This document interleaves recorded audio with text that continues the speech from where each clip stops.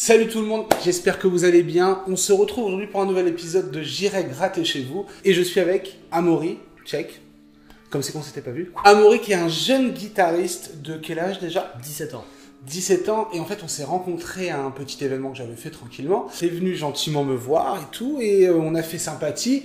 Mais surtout après il m'a montré ses vidéos et du coup Amaury en vidéo ça donne ça.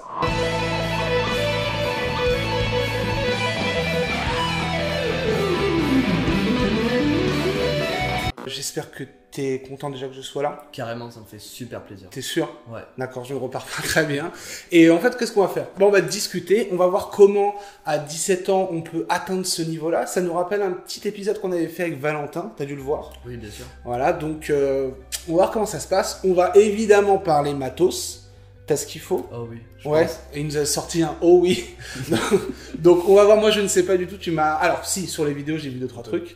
Donc euh, on va parler de tout ça, on va voir quels sont tes goûts, comment, je l'ai dit, à 17 ans on peut faire un truc de fou. Le matériel et tout, bref, euh, c'est un épisode un peu chaud. J'espère que vous êtes prêts, j'espère que toi t'es chaud. Bien sûr.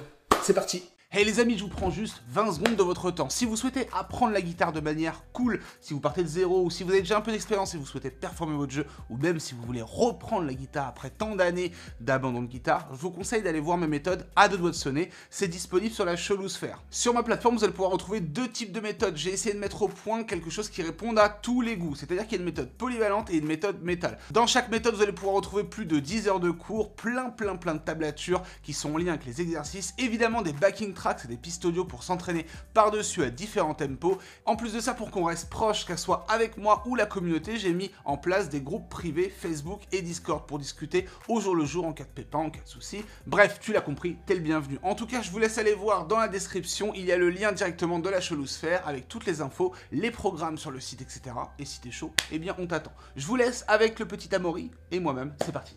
Donc première question, euh, je pense que on se pose souvent, c'est que t'as commencé comment et à quel âge la guitare Alors j'ai commencé à 8 ans, directement par la guitare électrique. J'ai pris directement des cours en fait. Ok, donc c'est euh, c'est guitare électrique, euh, on n'est pas passé par le classique. Non, la- rien du tout. D'accord, t'as électrique. Et en fait, euh, le déclic pour commencer, ça a été un live d'ACDC. Gros déclic, et donc j'ai voulu me mettre à la place d'Angustion. Ok, super. C'est-à-dire que donc j'imagine c'est quoi? C'est ton papa qui t'a emmené Bravo.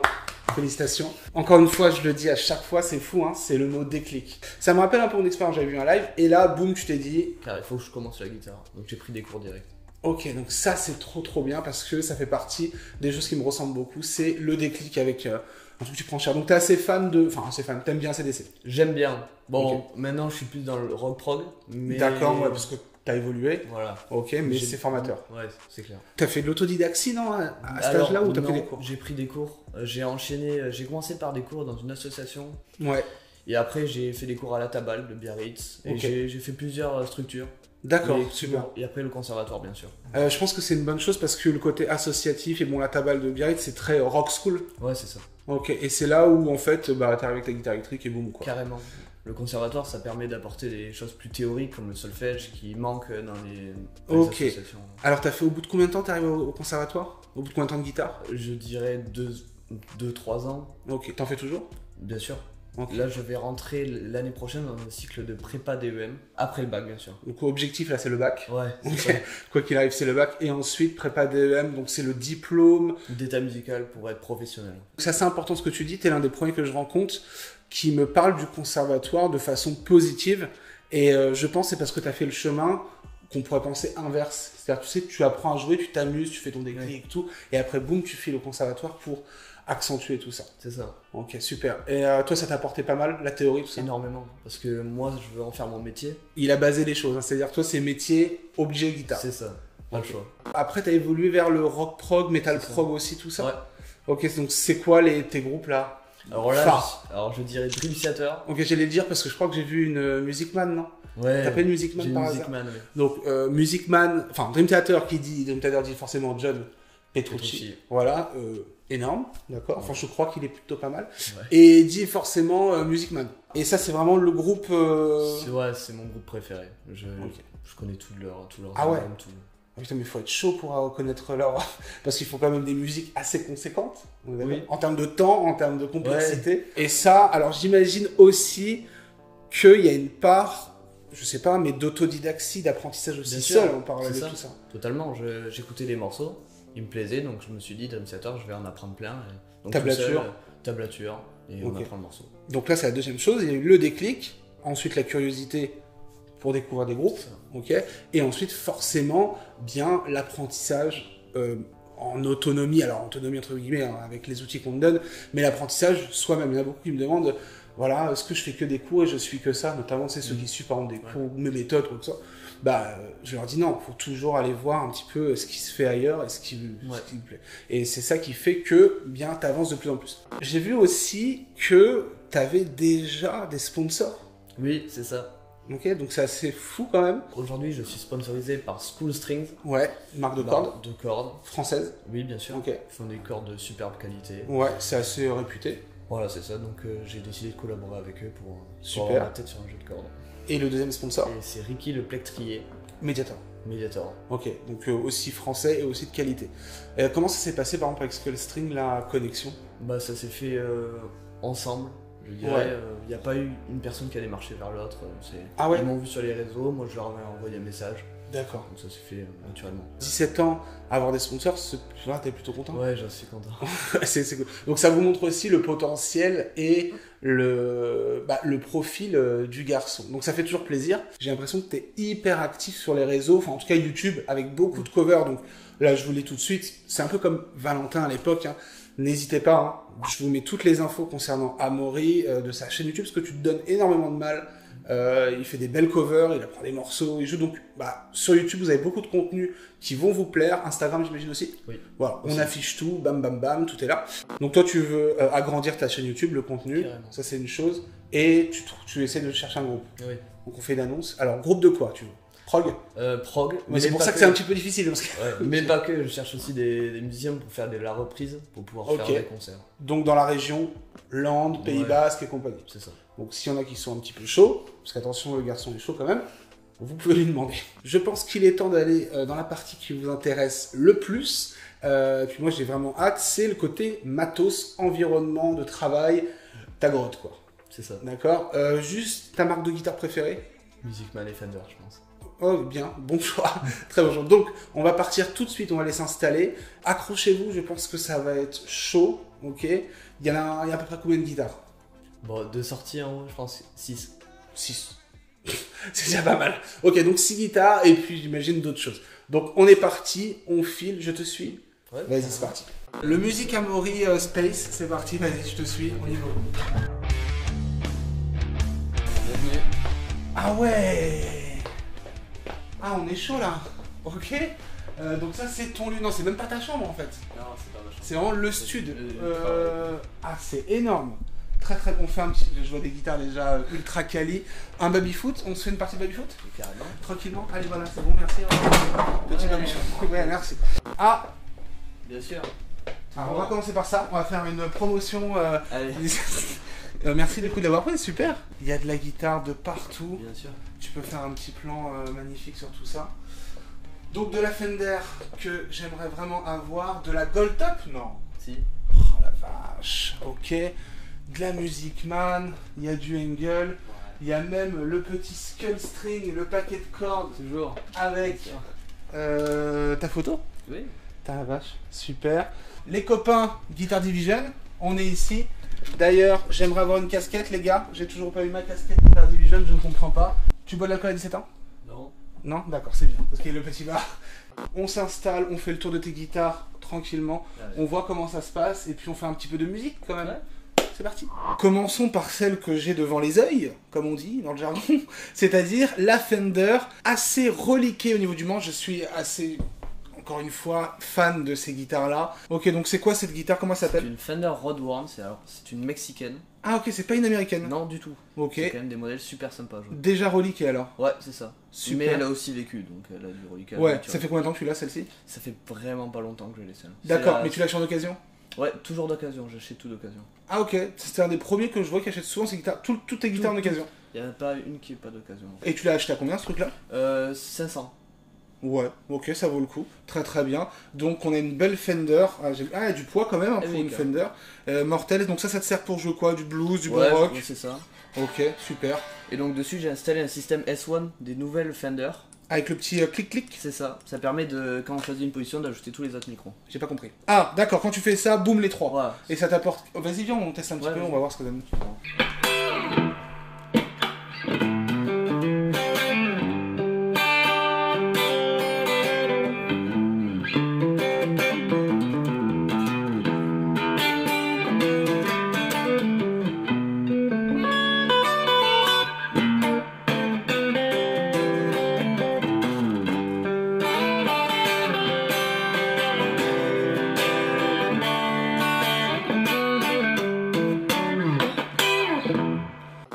Position Hendrix, Ouais, j'imagine. bien sûr. Ok, position Hendrix, et quand tu appuies euh, sur ton truc. Ok, rappuie dessus, et refais. Ok.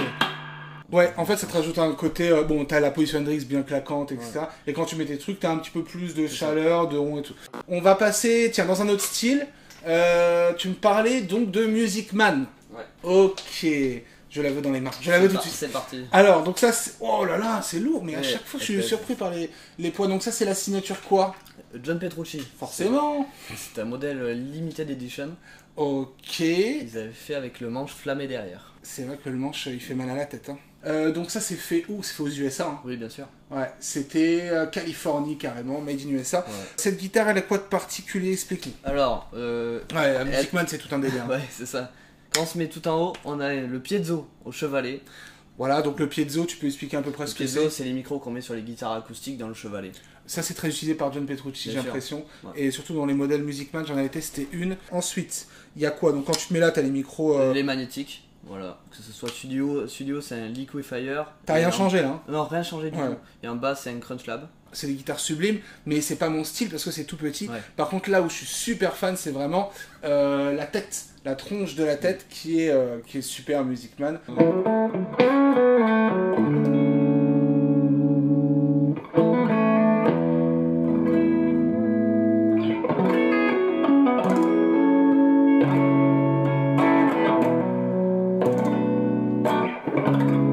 Ouais, c'est fou, il y a, il y a un répondant qui est absolument dingue quoi. Ouais, c'est dingue, c'est Music Man. Très bien, donc si je mets sur le piezo, là ça risque de claquer, non? Ouais.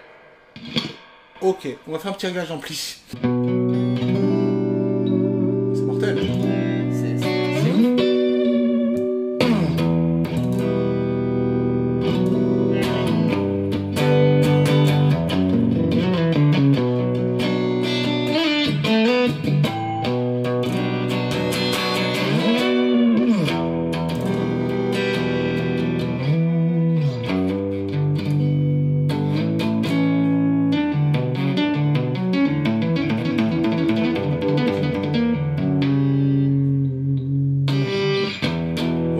Assez impressionnant la réponse du. C'est vraiment, encore une fois, le répondant qu'a cette guitare, c'est fou. Tu nous la joues un petit peu ou quoi.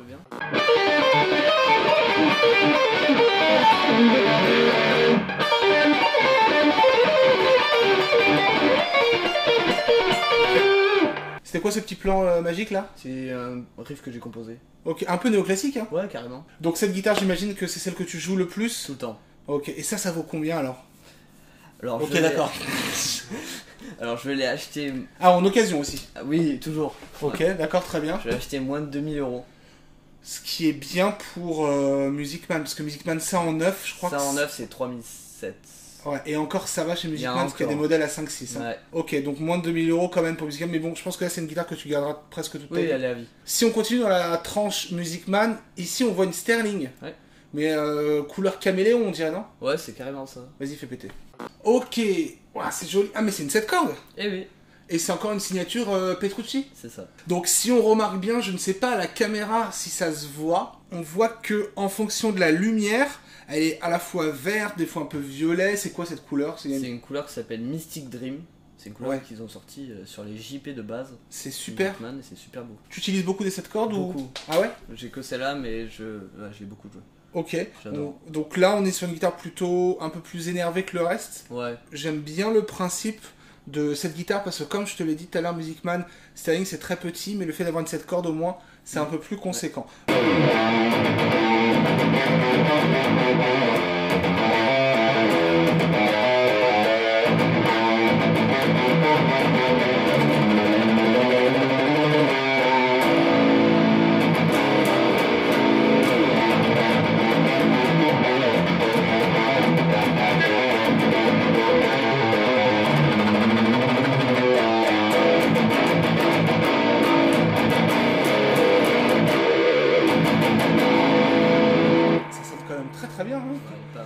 c'est hyper agréable.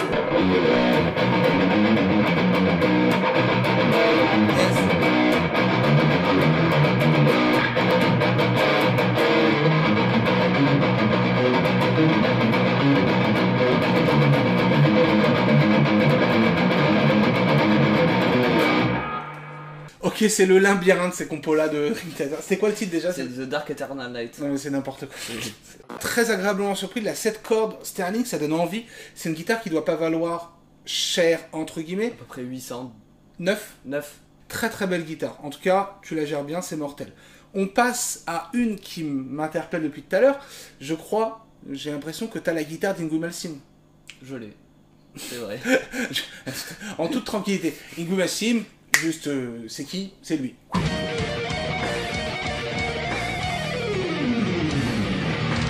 Un de mes guitares héros euh, préférés. Euh, très néoclassique, voilà, c'est un mec moi qui m'a toujours impressionné et il avait une guitare qui était impressionnante, c'est les fameuses Fender couleur crème, un peu euh, vanille, euh, scalopées avec les toutes les cases qui sont creusées. Tu vas nous expliquer un petit peu pourquoi, comment, et puis euh, je vais la voir bah, pour la première fois entre les mains. C'est parti, montre-moi ça. Alors là, je vais me lever pour vous montrer le délire. Regardez, en fait, toutes les cases sont donc creusées de manière euh, affolante. hein. C'est un art de lutherie pour moi. En gros, là, on a qu'on a la signature d'Ingo Lassim. C'est la vraie, l'unique, entre guillemets, enfin pas l'unique, mais la vraie euh, signature. C'est ça, c'est la réplique de, sa, de la sienne. Donc voilà, la signature, on la retrouve ici. Combien ça vaut ce truc-là?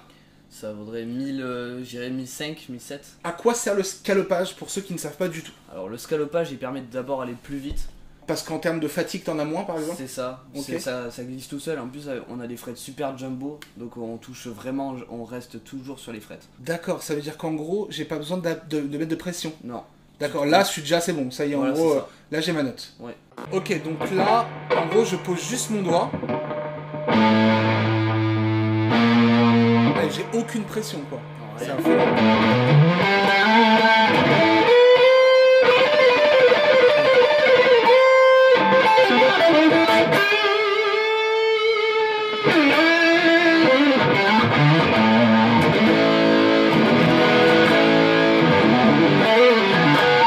J'imagine que le tapping.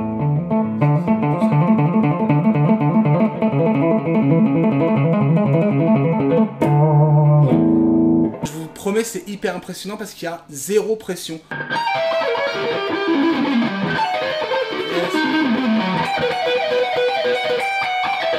Ouais, il est horrible ce plan-là à faire. Ça, cette guitare, pourquoi tu l'as acheté bah déjà pour le, le manche en fait, que pour Ouais, le non, manche. mais ça, c'est absolument dingue. Je vois dans mon œil droit euh, une petite gold top. Alors, gold top, c'est pareil. Entre ça et la gold top, je crois que t'as les deux guitares que je kifferais avoir. Aïe Ah ah non, j'allais dire non. Elle est légère, c'est ce qu'il m'a Oui. dit juste avant. Parce que c'est une Les Plus. Ouais, c'est ça. D'accord.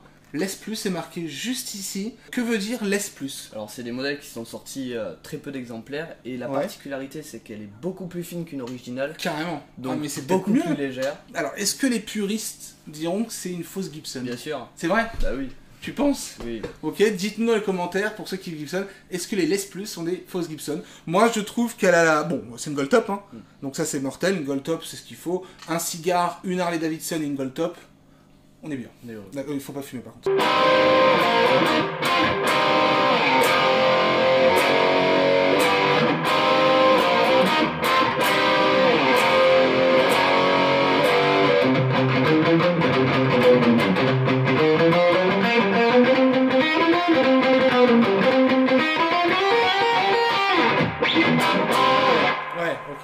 Alors, on a fait à peu près le tour de tout ce qu'il y a.